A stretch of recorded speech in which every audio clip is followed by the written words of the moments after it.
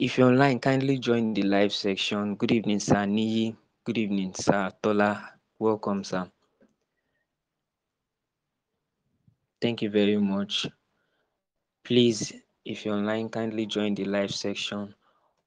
All right, so I'll be saying a short word of prayer before I, you know, give the podium to Daddy Tola. Father, in the name of Jesus, we give you all the glory, we give you all the honor. We thank you for today. Thank you for the many things that you have been doing upon our lives and our family. We ask for mercy in any way we have sinned against you, Lord. Have mercy upon us in the name of Jesus. Spirit of the living God, even as we'll be commencing this program now, we pray that let your light shine everything that we'll be communicating shall bear truth in the name of Jesus. Thank you, Father. Glory to the name of the Lord. Jesus' name we pray. All right, without wasting so much of our time, I've dropped the portfolio of our guest for tonight. You could see it on the chat button. So, with Jesus' joy and with a warmth of appreciation, let's welcome Tola Alabi, Daddy Tola Alabi to the podium. Thank you very much, sir. Sir, you can start now. Okay, Shola, how are you doing? Um, how's everyone doing? It's great to be here tonight. Um, hope you all can hear me clearly. Um, thanks for taking the time to invite me to um, to this platform. Um, I'm really glad to be here. I think this is going to be the first, if I'm not wrong, this is going to be the first um, session. No, this is the second. with the group.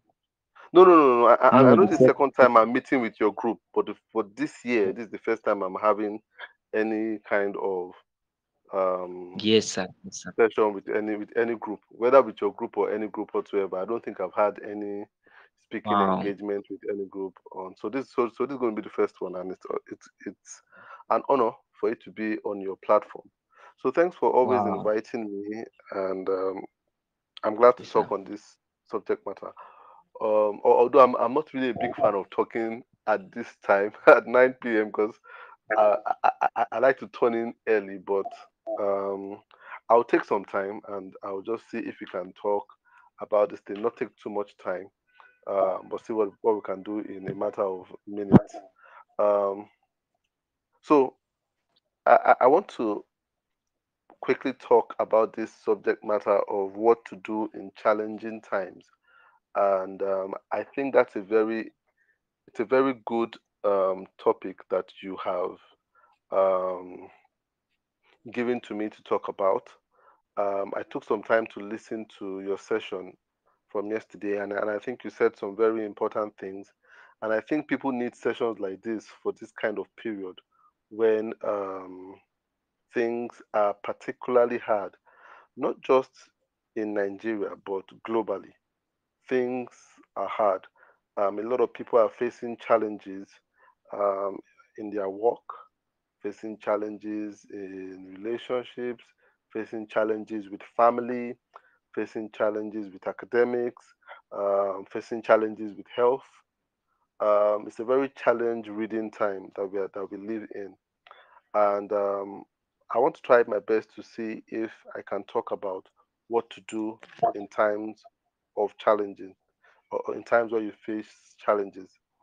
And um, you know, I'm, I'm going to try to take my reference from the Bible, what to do when you face challenges. So I will I will be talking about um, a character in the Bible called Ruth.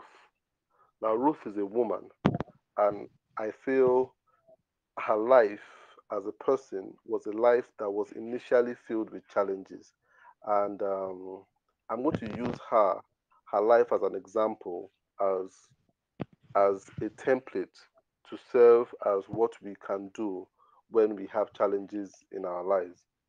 And um, you see, I'm coming from a place, I'm a, and I'm still in a place whereby I have challenges in my life, facing a lot of challenges, some financial, some business wise.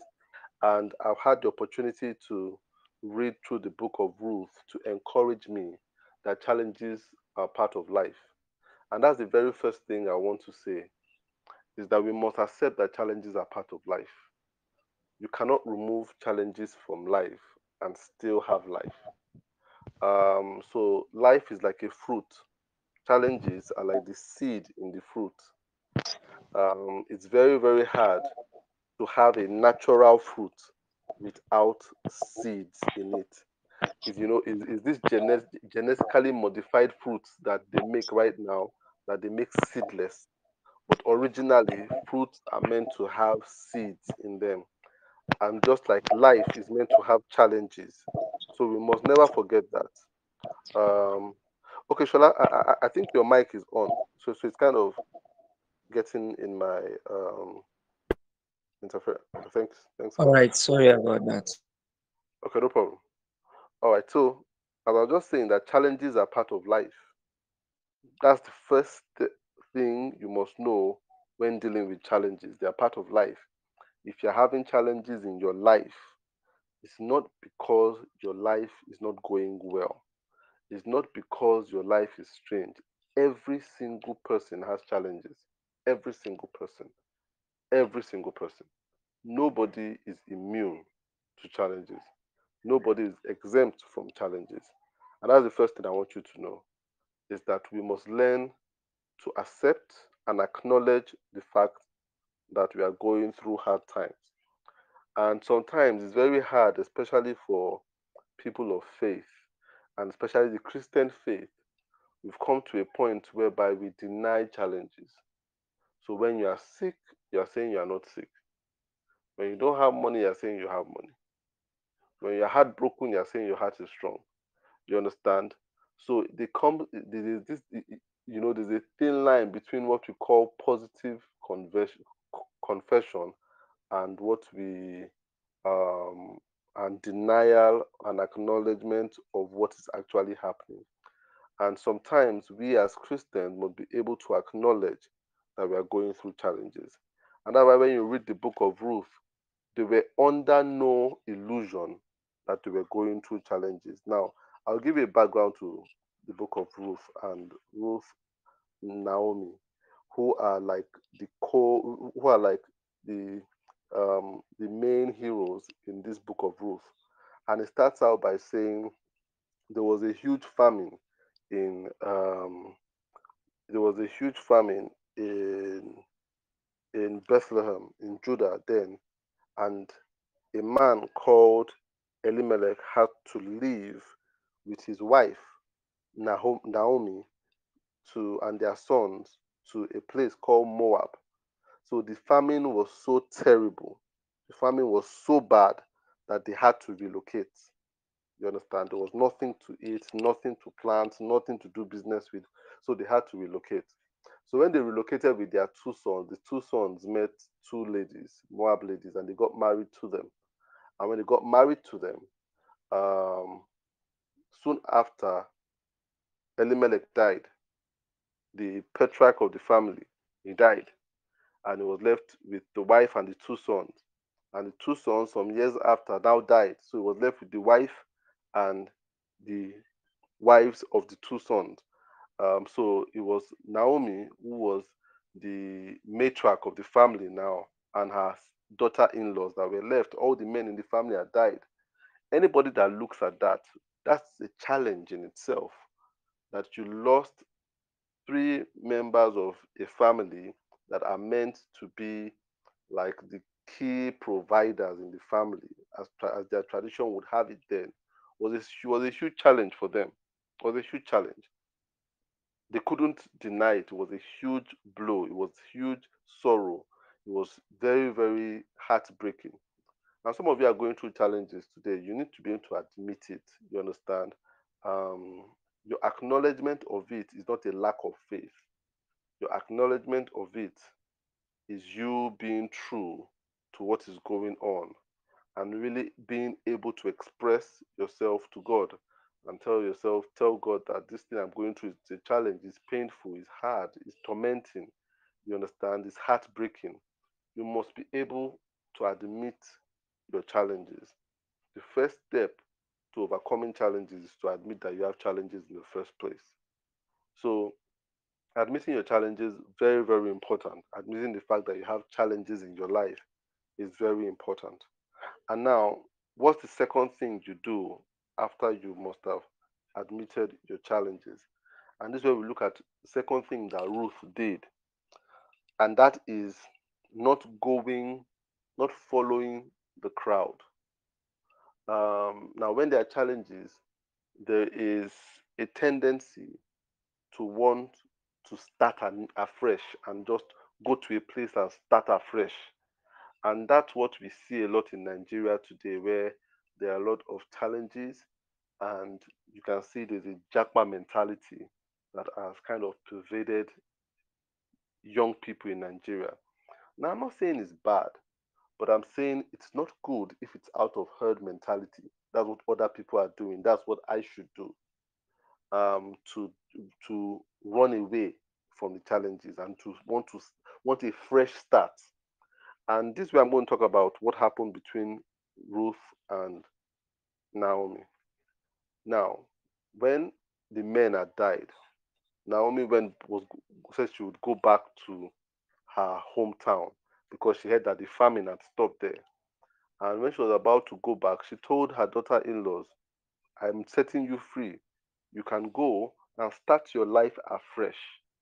You understand? Start your life afresh and forget the past. You know, start start afresh.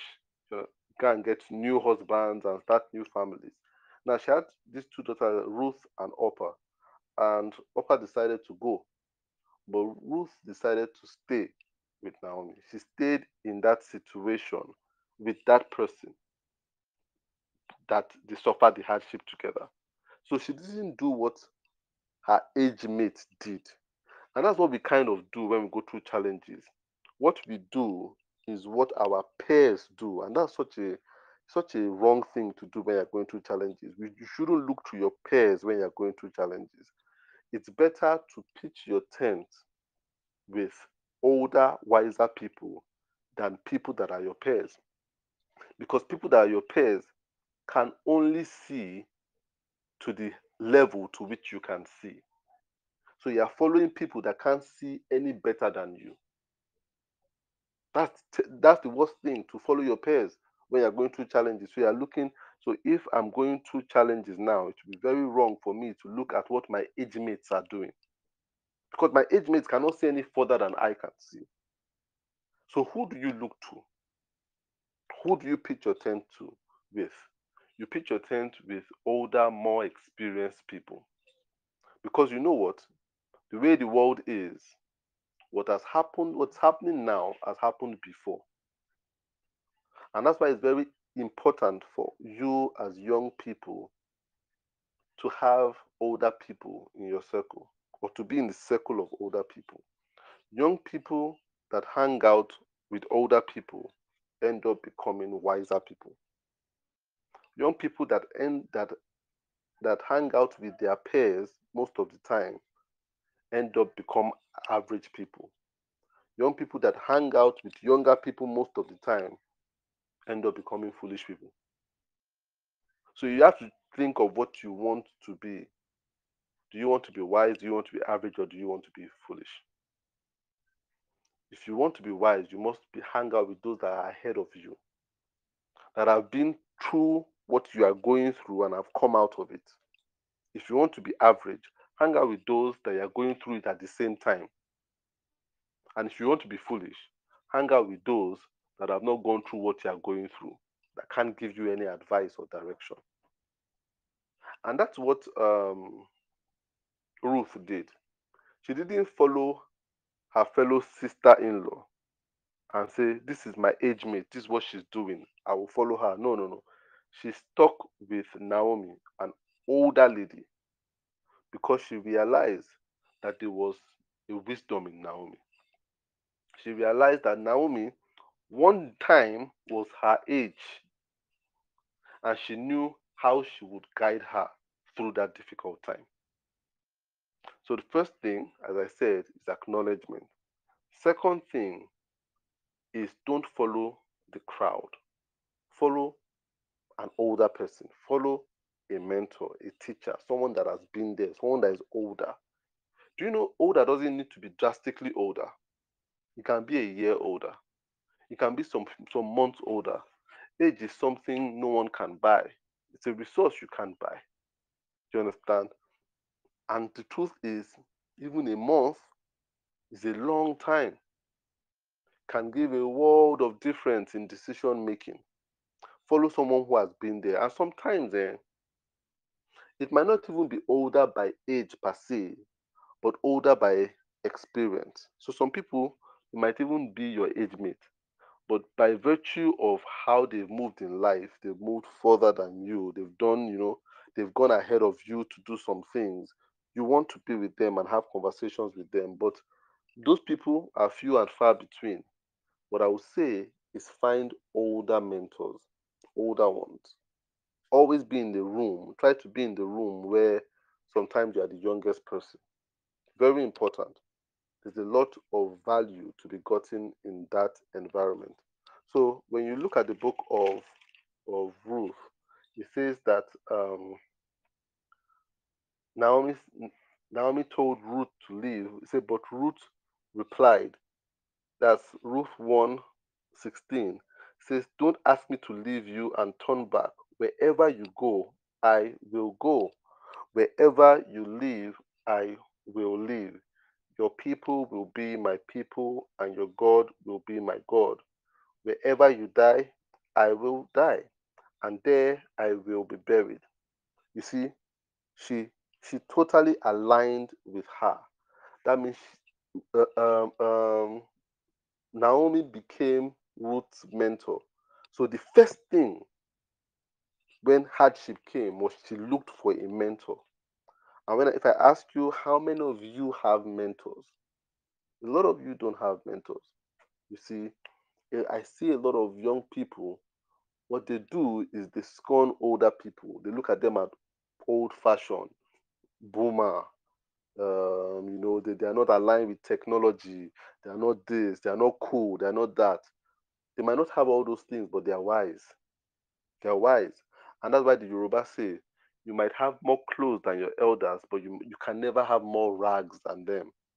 And what rags means, rags symbolizes experience. It symbolizes mistakes that they've made that they can share with you that you don't have to make. So find mentors. It's so important that you are able to find mentors. Um, the the second and the third thing, remember the first thing I said is acknowledgement of challenges. Second thing is find mentors. The third thing, if we continue looking at the book of Ruth, is you must find work. In challenging times, you must find work.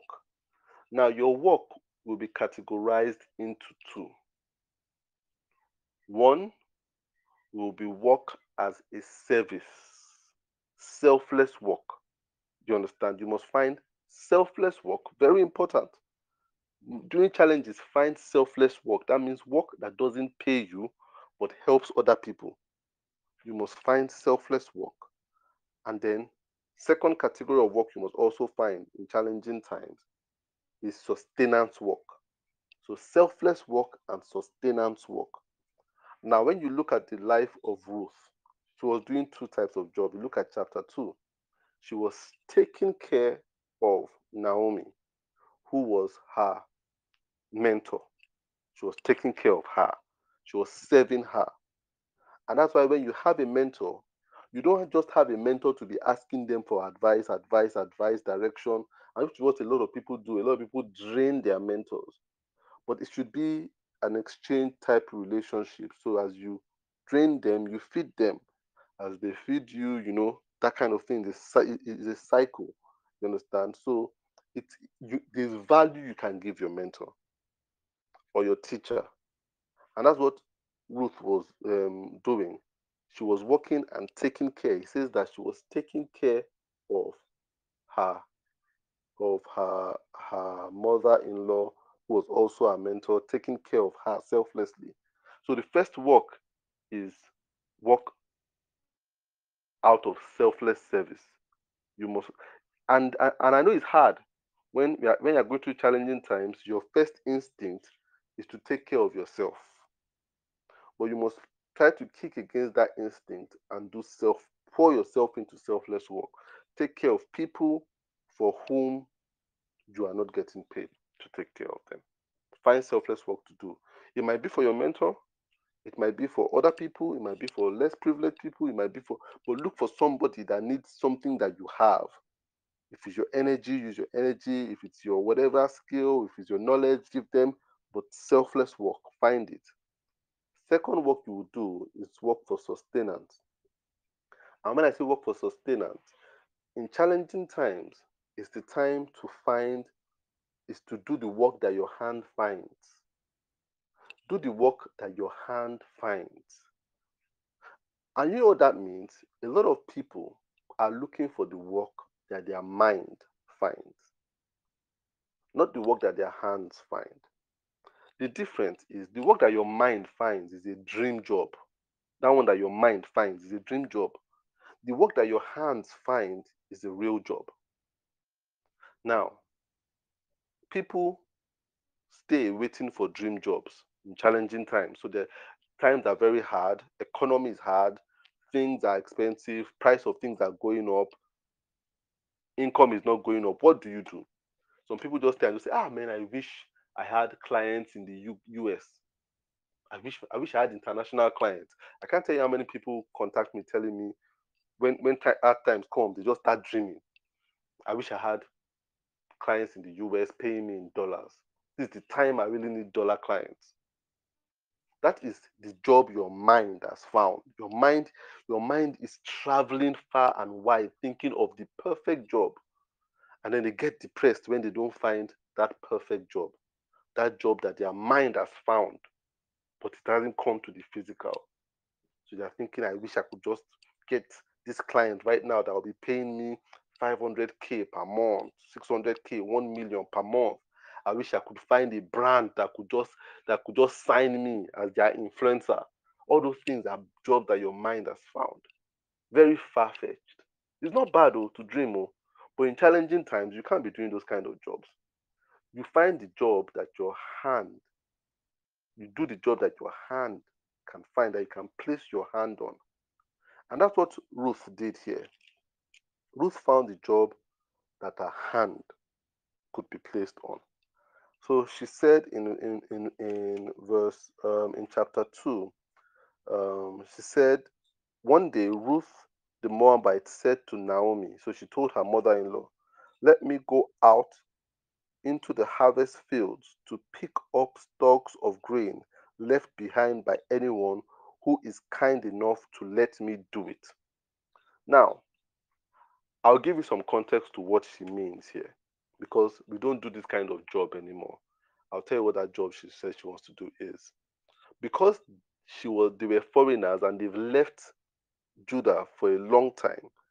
When they came back, see when you leave a place, then you forfeit all you have. If you had houses before, somebody else takes it over. If you had a farm, somebody else takes it over. So you don't have anything.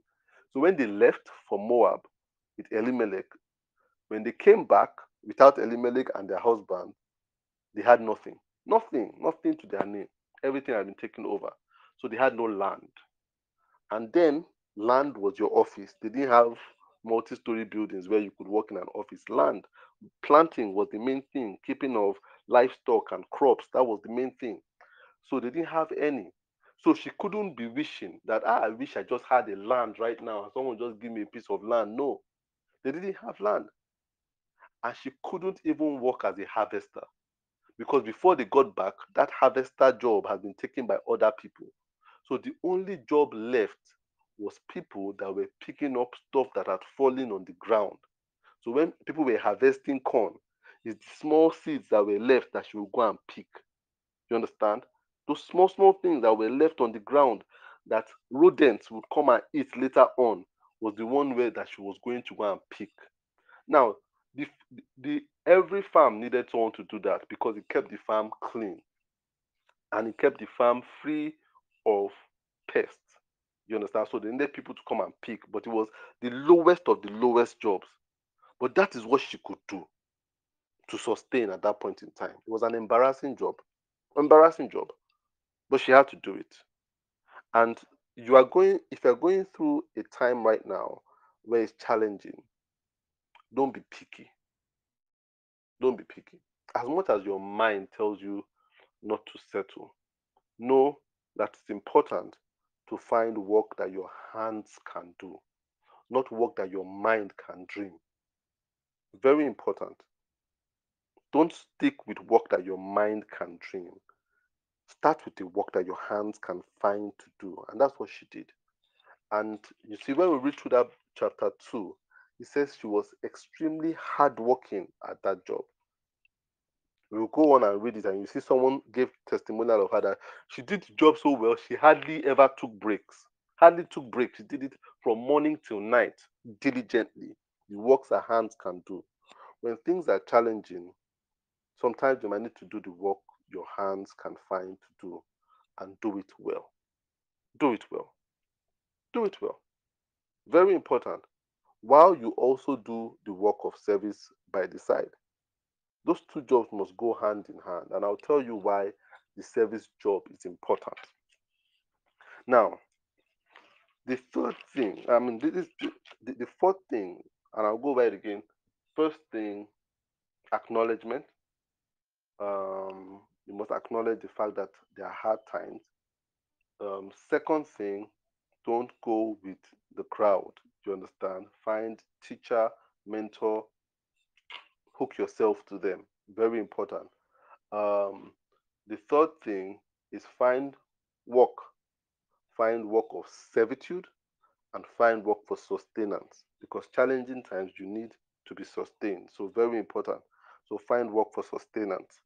Now, the fourth thing here is as you find work for sustenance to do, do it do it well. Do it with all your heart. And i i i, I pointed i kind of highlighted that when i was talking initially that you must do it with all your heart. Do it well. You understand? Do it well. Because the reason you must do it well is that it's in doing it well that you will get noticed. No matter how small your work is no matter how lowly it is when you do it well people will notice you and so when you look at when you read the book of um, Ruth, it says that the owner of the farm, Boaz, came and he said, he, he noticed that he said, Who is that woman over there? You see, why did he notice her? Because she was busy working. She was taking breaks and taking breaks and taking breaks, and you know, she wouldn't be visible. Remember, this this not I'm talking about little expanse of land, I'm talking about vast expanse of land that had a lot of people on it. So for her to stand out, it was the, it was the work she committed herself to doing that made her stand out. And because she did it well, she got good reports. So it says in chapter 2, Ruth chapter 2, verse 5, it says, Boaz asked the foreman, Who is that young lady over there? Who does she belong to? Said, and the foreman said, she is the young woman from Moab who came back with Naomi. She asked me this morning if she could gather grains behind the harvesters. She has been hard at work ever since, except for a few minutes rest in the shelter. A few minutes of rest. You understand? But then she was hard at work. It's when you're hard at work, at whatever it is you're doing, that people notice you. Do you understand? And that is the beginning of the breaking of that challenging period when you can be noticed by people that that are that are influential to say this person there's something different. Look hard work always shines out I'm telling you. Um you know the truth of the matter is that hard work that word has been bastardized has been abused you've been told how unimportant it is and i'm not saying hard work is what gets you there that's not that the truth is that hard work is not what gets you to a place of um of it's, not hard work that gets you to the top. That's the truth. But hard work in a world where people are increasingly slothful increasingly lazy increasingly not putting in their back to their work hard work can make you stand out.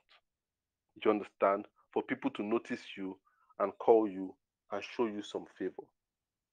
And that brings me to the next thing after, you know, when you find the work, you do it well. The next thing that will happen is that you find people that would favor you. And what I'm going to say, the next thing, the next thing that happens after hard work is you must be cognizant of the small privileges. Small privileges, very important. A lot of us we overlook the small privileges. Small privilege. Eh, so he gave me water here. So what? Is it what I'm looking for? I'm like, say I'm looking for hundred thousand. Give me a bottle of water. You understand? But that's what happened with Ruth here. When Boaz noticed her, he called her and told her she can eat with them. You understand? Because on a good day, she was not meant to eat with them, just pick and go. Remember, it was too lowly a job. He made the work, he gave her some some fringe privileges. You see, a lot of times we overlook the fringe privileges. We overlook them. You are doing work because you don't like it. Someone, you know, a customer comes and gives you 15 naira extra and you don't appreciate it. Uh, 15 naira, what would I want to do? Can't you just can't you give me 5k extra, 5k tip? You understand? Sometimes they don't even give you anything. All they say is, mm, "Well done, you've done a good job." Give they give you a compliment. I'm like, no, I might go to eat compliment. I'm looking for something to something for me to break out. You understand? Something for me to break out of this level that I am in. And you you under undermine, undervalue, underrate the small favors in quote. The small favors. But Ruth didn't undervalue them. You see, once Boaz gave her um, those favors and told her, look, let her gather grain. You see, it, it, it didn't promote her. It didn't make her a harvester. He just gave her, he just gave her some privilege. He said, drop some things for her to pick up. Drop, drop more, drop more grains for her to pick up. So he didn't change the job description. He just made it a little better. But she appreciated it. Some of you, eh, some people are making your life a little better, but you don't appreciate it because you are still thinking of that job that your mind has found. You're, so you're not you are not paying any attention to how the work your hand has found is finding you some favor. And it's in those small favors that you get elevated to that work your mind is thinking of. So never forget small small favors, never forget. Small favors while you're doing the job you don't really like don't forget the small favors. Don't forget the small compliments. Don't forget the small thank yous. Don't forget the small bottles of water. Don't forget the small change that they give you. Don't forget those things. They're important, very important, while you do the things that your hand finds. I know it's challenging. 15 naira will not buy anything. But then those are small sparks telling you you're on the right path, telling you God is seeing you. Don't forget it. And you see what Ruth did here afterwards was important. And now what you need to learn to do. Learn to celebrate those small wins. So how did she celebrate it? She went back home and she gathered some and she took it back home to Naomi, her mother-in-law, her mentor, her guide. And she said, Look at what happened though. See, see the favor had been given. Meaning that she had a very grateful heart. She had a grateful heart. Remember, she was still picking leftovers because the things they were dropping for her were not the best of the things, but she still gathered and she took it home. Very important. You understand? says those leftovers were good for her. The job was good. You understand? She saw the small favors. Boaz asking her to let her gather the sheaves without stopping her. It says, if you look at um, verse verse 15, it says, When Ruth went back to work again, Boaz ordered his young men, Let her gather grain right among the sheaves without stopping her. Pull out some herds of barley from the bundle and drop them on purpose for her to pick up, and don't give her a hard time. She was still she was still picking among the sheaves. It wasn't plenty, but then she appreciated it. She appreciated it. and she went back and she showed it to her guide. You see, when small things happen, those small things that people say, Why you? Is that a big deal? Appreciate it and share it with your teacher, share it with your mentor. And when I say share, I don't mean share with her, them per se. I'm just saying share the experience. You see, I have a mentoring club, and I appreciate when my mentees come to me to share little, in quote, little experiences, little wins. Very important. Share it. Share it with those people close to you. Share those little wins. And that's how you celebrate them. You understand? Celebrate them. Something good happened at work today. Yes, other people might not celebrate them, but you celebrate them. Remember, times are challenging. So when things are challenging and you're getting small favors, you must be able to celebrate them. Celebrate them with people. Talk about them. Talk about them, especially with those people that you see as your guides and um, your mentors.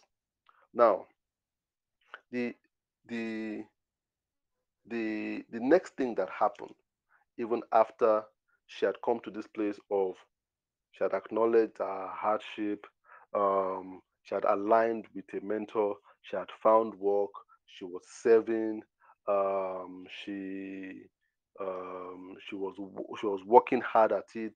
She had been noticed. She had been given small favors, which were um, which were bringing her um, um, which which she appreciated the small favors she was given. You see, those things were good.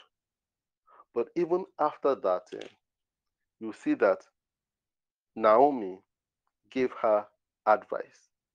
She gave her advice. That why those small things, why you should share them with your teachers, because your mentors, eh, they see seeds. Mentors are people that see seeds. And in th- that seed, they can see the tree. You understand? So your mentors are people that when you show them seeds, they see the tree. And that way, it's always good when you have a mentor to share small things with them because they, they are able to see the tree from the seed. Very important. You just see a seed, but they're able to see what that seed means and what it will grow into. And that's what Naomi was able to see when um, Ruth started telling about those small experiences. See, if if Ruth had kept it in her heart and just said, "Well, just told them to give me some, to allow me pick some and stuff," why should I go and be disturbing my my mother-in-law about those kind of things? Those things are not important. You understand? We are looking for land. He didn't give me land. We are looking for inheritance. He didn't give me inheritance. I'm looking for husband. He didn't give me husband. You see, if she kept those small things to herself, she never would have gotten the advice that Ruth, that um, Naomi ended up giving her. You understand? So sometimes it's in sharing those small things that your mentor, your role model, and people like that would be able to see what you should do with those small favors. They're the ones that will tell you what to do with that hundred naira. They're the ones that I will tell you how to build a relationship with that person that gave you a bottle of water. They will tell you what that bottle of water signifies. You understand? They will tell you what that compliment that person paid you, what it really means. You understand? So it's in, it's in, it's in being able to share it with them. And so she was able to share her experience and and um, Naomi was able to tell Ruth what next to do. And what next to do was what totally took her out of a terribly challenging time in her life. Because Ruth told her, this favor that this man is showing you tells, gave her an inkling that he's interested in her. You understand? And says, you must present yourself well. And this brings me to the point of presentation. You see, never look like what you're going through. I'll tell you that. Never look like what you're going through. Try your best never to look like what you're going through. It's very important. Never look like your problem. Never look like your problem. If that's one thing one person will get from this um, session, please let it stick in your mind. Never look like your problem, no matter how bad it is. Never let people see your problem from when they are looking at you. And you can see here that um, if you look at chapter 3, um, verse from verse 3, says, Now do this, I tell you, Now, this is um, Naomi talking to Ruth. It says, Take a bath and put on perfume and dress in your nicest clothes and go to the threshing floor. So she told her to dress well and go to work. While you are doing that work that your hand finds, that is not the best job that your mind is thinking of, go as your best. Go as your best. Iron your shirt. Wash your blouse. Shine your shoes. Cut your hair. Make your hair. You understand? Wear your lipstick. Look good. Let them not know your problems by looking at you. Very important. Let people not know what's in your bank account because they've seen it on you. Look good. Even if it's one shirt you have, wash the shirt, iron it. Because you know what? Favor comes with attraction. And so you must make yourself attractive. Make yourself attractive. Some people just look at you and say, I want to know this guy. I want to know this girl. You understand? Don't be repulsive. Don't be repulsive. And I'm not just talking about attractiveness in your adornment. I'm talking also with your expression. Yes, you are going through a hard time. Doesn't mean you should frown your face every single time. You're never smiling because you're going through a challenging time. Wear a smile. Wear a smile. Don't let don't let people see your challenges on you. And you see, that's what um, um, Ruth was able to tell. Um, Naomi was able to tell Ruth. So that go and take take your bath, wear perfume, wear your nicest clothes, but still go to that threshing floor where you are doing what seems to be the dirtiest work, but go there looking like the freshest person. That's where you meet favor. Look, one thing I try to do with myself is nobody would ever know when my account is low and when my account is high by looking at me. Never. Never. If I'm going out, I tr- try to look my best, no matter how. No matter how. You will never know that I'm have going through challenges if I don't tell you. You will not know. Because I want my attraction to be constant. And that's the thing some of you must learn. Let your attraction be constant. Don't let don't don't don't, don't let um, transient challenges cause a permanent stain on people's perception of you. Do you understand? Let don't let anything muddle with your attraction, whether your attraction by demeanor or your attraction by dressing. You understand? And and it's not in the volume because I've seen people with with, with, with a very very loaded wardrobe. You understand? A lot of shoes, but, but in the end, still are not attractive because they don't take care of themselves. They don't groom themselves well. And I've seen people with very few things, but they groom themselves well. Very important. I remember I was telling my wife some um some time ago. There was a guy that comes to our church, and you know he just he's in the media. And I told my wife, I want to know this guy. This particular guy, I just want to know him. There are two things about him that attracted me. The way he dressed, I realized that he was always wearing a particular attire. He never changed.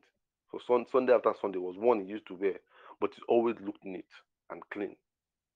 Number two, his attitude to his work. He was always doing his work diligently, not distracted and stuff. And I just told my wife, I want to get to know that guy's name. You see, the guy didn't know I'd been watching him. He didn't know. But there was an attraction I had to him. I just said, I want to know more about this young guy. Look, that guy obviously struggling financially, but then you wouldn't see it.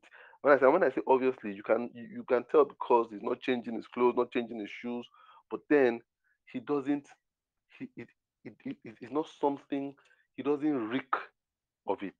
You understand? I met him for the first time. He looks like a decent young man.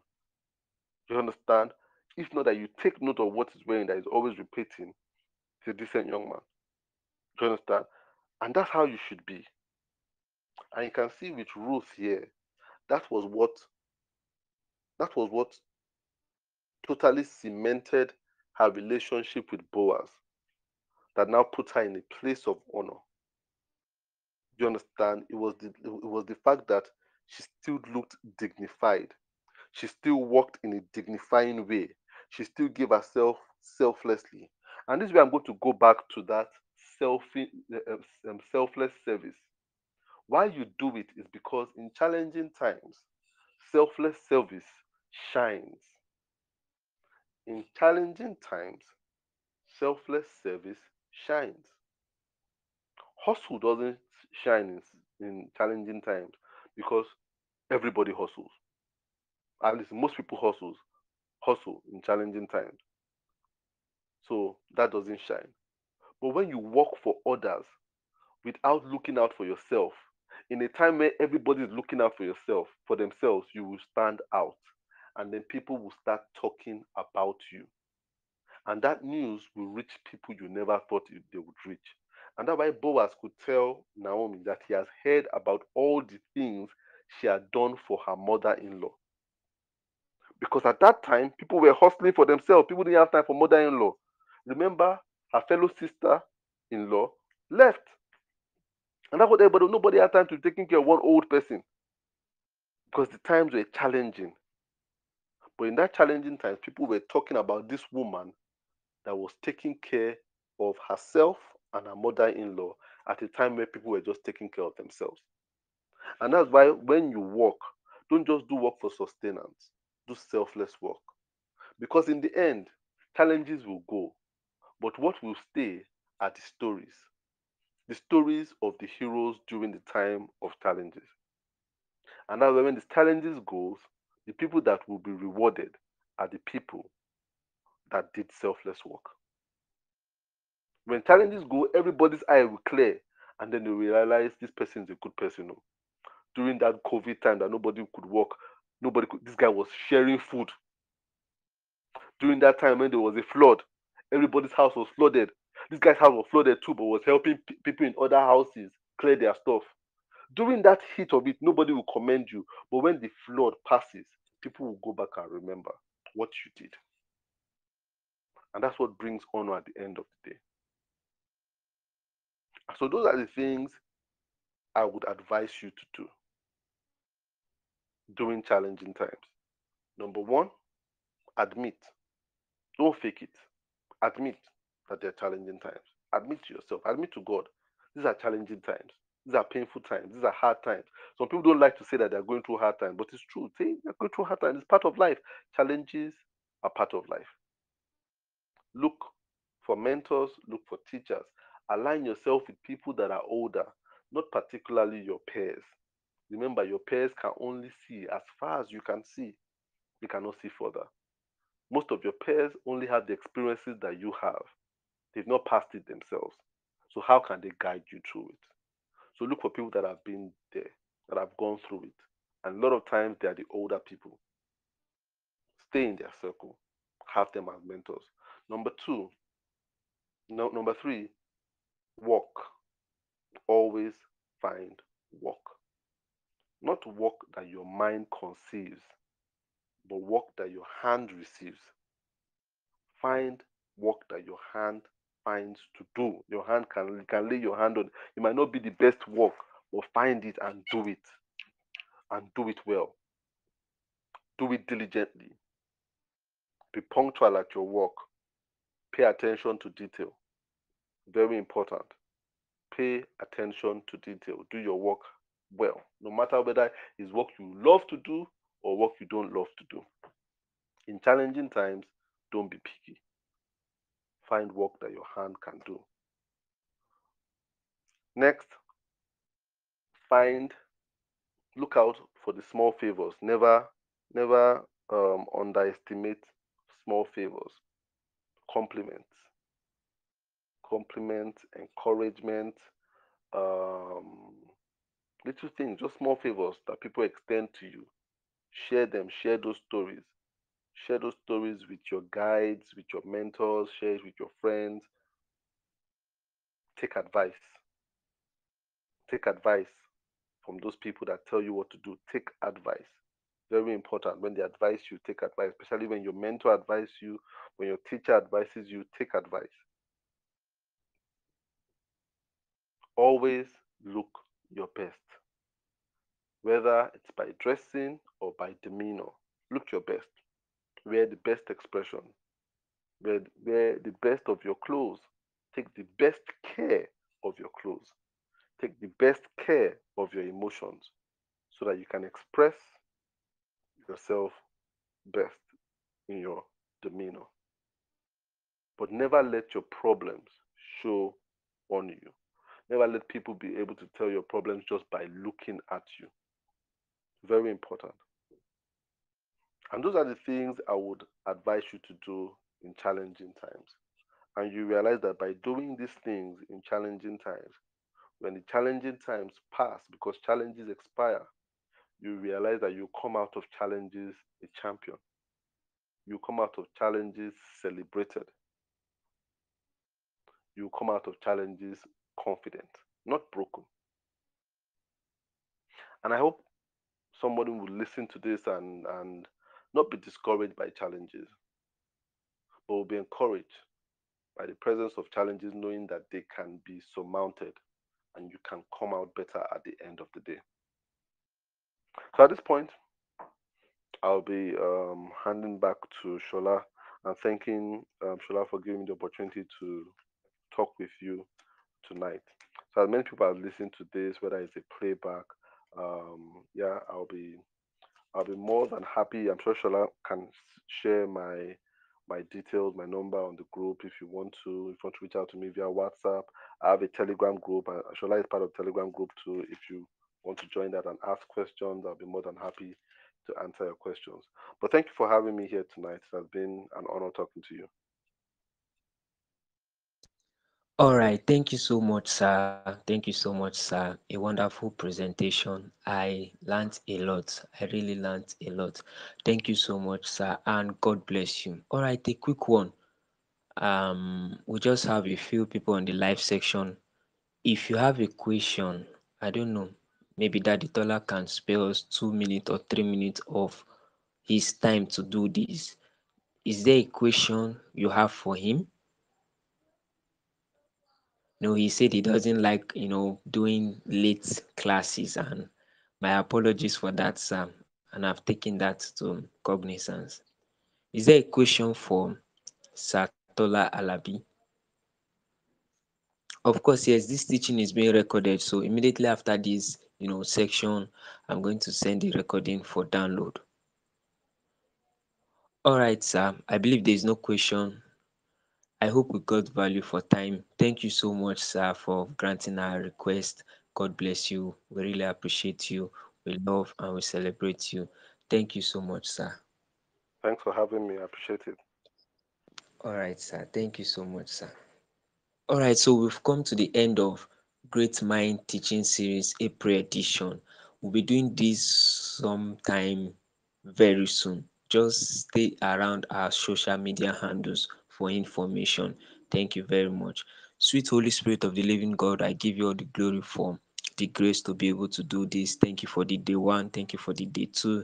Thank you that there was not network interference Jesus will return all the glory back to you in the name of Jesus. As many as they are that will be listening to this teaching from your Son, oh Lord, may they hear, may they see truth, may they see insights to everything that your Son has communicated to us in the name of Jesus. Thank you, Heavenly Father. Glory to the name of the Lord. Jesus' name we have prayed. All right, thank you very much. We've come to the end of this teaching series, What to Do in challenging Time. The recording will be sent immediately to the group for download. Thank you so much, Daddy Tola Alabi. Thank you so much, guys, for joining. Those that shares the program, I really appreciate. God bless you. See you at the top.